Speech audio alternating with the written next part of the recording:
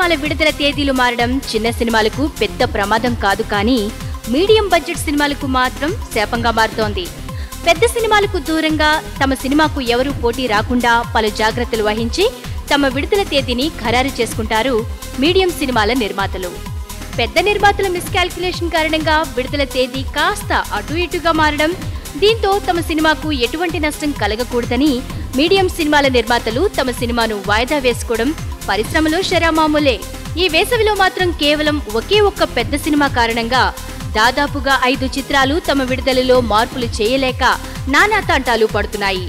అల్లు అర్జున్ హీరోగా పూరి జగన్నాథ్ దర్శకత్వంలో రూపొందుతున్న ఇద్దరు అమ్మాయిలతో చిత్రం విడుదల జాప్యం కారణంగా సాహసం యాక్షన్ పవిత్ర ప్రేమ ఒక మైకం ప్రేమ కథా చిత్రం వంటి పలు చిత్రాల విడుదలలో స్పష్టత కొరవడింది.